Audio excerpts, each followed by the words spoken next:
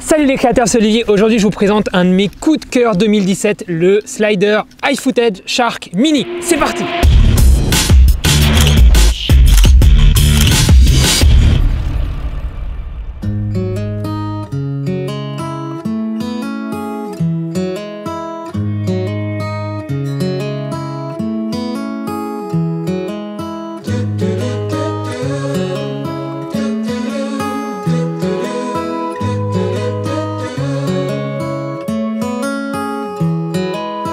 Once upon a time, there was a player in every corner doing tricks for a dime. All the streets were cold. He had his eyes on all the bright, shining silver and gold.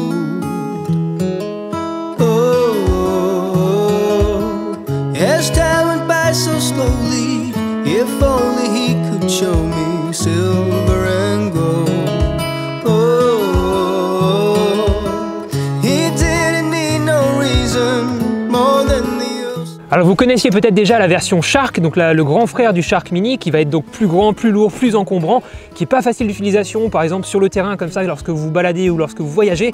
Et si vous êtes comme moi et que vous aimez les choses compactes, iFootage a donc décidé de sortir le Shark Mini, une version compacte, légère, transportable de son Shark, et vachement bien pensé. On verra ça un petit peu plus tard. Déjà, je vais vous montrer à quelle vitesse on peut le dégainer. Donc là, il est rangé dans mon sac à dos. On va déjà sortir tous les éléments les rails. Et j'ai juste à tout emboîter comme ceci. Je verrouille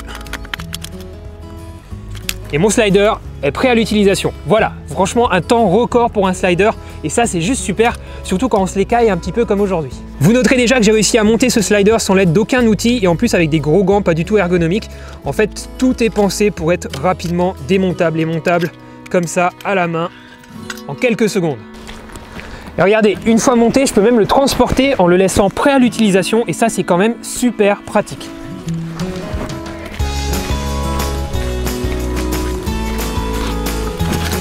Et regardez, ici sur les côtés du slider, j'ai un système de pieds intégré.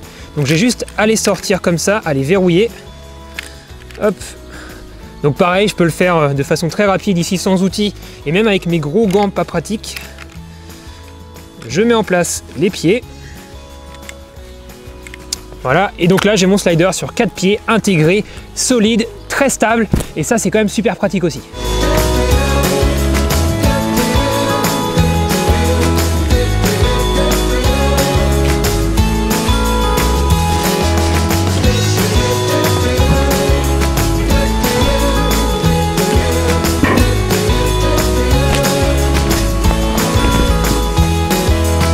Alors de base, vous avez 22 cm de longueur de déplacement ici pour la caméra. Mais si vous le souhaitez, en fait, vous pouvez augmenter cette longueur à l'infini puisque vous avez un système de rail à rallonge.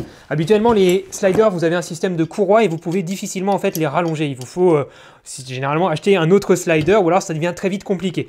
Là, avec ces rails à rallonge, en fait, vous n'avez pas de courroie que vous risquez de perdre, de casser, d'abîmer ou d'oublier. Ici, vous avez un système avec une roue dentée dans la partie mobile et ici un rail denté et ça vous permet en fait de venir déverrouiller l'extrémité, l'enlever, j'écarte ici, je viens positionner ça là, et à une main, comme ça, je peux venir clipser, avec un système de clips très solide et très bien pensé, clipser autant de rallonge que je souhaite, et faire un slider de plusieurs kilomètres si vous le pouvez, si vous le voulez, si vous avez le besoin et le budget, c'est possible. Donc là, j'ai plus 22 cm de déplacement pour la caméra, mais je suis passé à 59 cm, donc j'ai un grand slider, facile à mettre en place, très transportable puisque je peux séparer les deux rallonges, et j'ai ici un joint entre les deux rallonges qui est à la fois fluide, solide, bref, j'ai rien à reprocher à ce système-là, ça fonctionne très bien, ça fait l'affaire. Encore un point positif pour le Shark Mini, franchement, je suis impressionné. Et regardez en dessous, j'ai des pas de vis un petit peu partout sur toute la longueur, ce qui me permet de mettre mon trépied là où je le souhaite et pas forcément que au milieu. Côté poids maximum, on est à 5 kg de base avec un seul rail et lorsqu'on met la rallonge, on passe à 4 kg, mais ça reste largement suffisant même pour un gros réflexe avec un gros objectif, c'est pas un problème donc euh, rien à dire à ce niveau-là. Euh, Vous excuserez juste mon petit nez rouge, on se les caille vraiment ici en Alsace, je sais pas chez vous, mais là franchement il fait froid.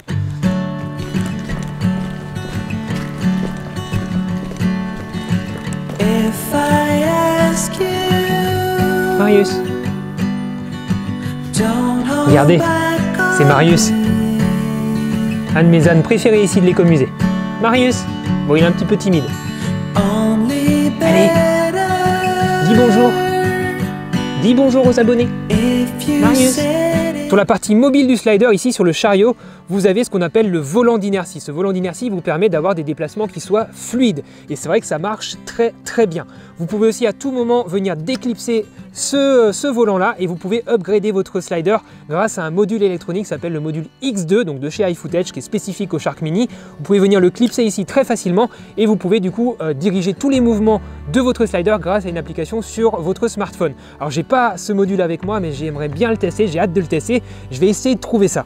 Ensuite, cette, euh, cette tête-là, cette partie mobile, vous pouvez aussi lui donner une inclinaison si vous souhaitez faire des plans comme ça avec votre slider de travers pour faire euh, des plans inclinés à 45 degrés. Donc vous avez juste à dévisser ici cette chose-là, vous appuyez ici, vous soulevez et là vous pouvez venir donner une inclinaison, je crois que c'est jusqu'à 45 degrés. Vous avez juste ensuite à verrouiller ici en tournant euh, la petite vis et là vous pouvez donc donner une inclinaison à votre slider. Franchement, que demander de plus? C'est juste parfait. Alors vous commencez à me connaître, ma philosophie de travail, c'est légèreté, compacité et performance. Et c'est pour ça que depuis des années, j'utilise ce trépied, un trépied de voyage qui est léger, compact, performant et que je peux trimballer partout avec moi très facilement. Par contre, je dois bien l'avouer aujourd'hui, ce type de trépied n'est pas adapté à l'utilisation d'un slider puisque le slider a une grande envergure de travail et ce slider-là nécessite euh, un trépied qui soit vraiment très stable, qui ne bouge pas d'un poil lorsque la caméra est à une extrémité ou l'autre du slider. Et malheureusement, un trépied comme ça est un petit peu trop branlant pour le slider. Par contre, lorsque je n'ai pas de rallonge, lorsque j'ai juste un rail, j'arrive quand même à avoir quelque chose de très stable avec ce trépied là, là il n'y a pas de souci. Par contre si vous utilisez des rallonges, par exemple avec les deux rails comme je vous ai montré tout à l'heure, là il vaut mieux utiliser un trépied de studio ou de vidéo spécifique qui va être plus lourd qui va du coup ne pas être compact et léger lorsque vous voulez le transporter, mais par contre qui va vous offrir une stabilité euh, vraiment parfaite pour l'utilisation d'un slider.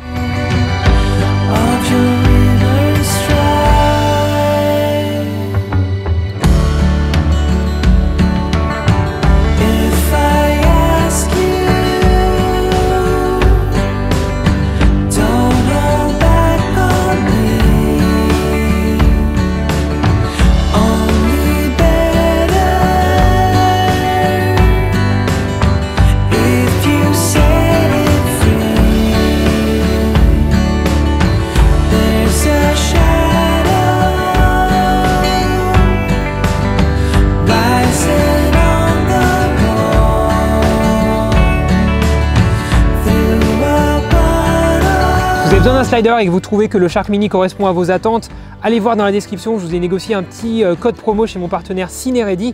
Donc franchement, ça vaut le coup. Pour moi, c'est de la bonne cam. J'ai pas trouvé de gros points négatifs à vous partager ici dans cette vidéo. En attendant, je vous dis faites de belles photos, faites de belles vidéos. Merci d'être présent. À très bientôt les amis. J'espère pouvoir vous présenter le module X2 très prochainement dans une vidéo. Ciao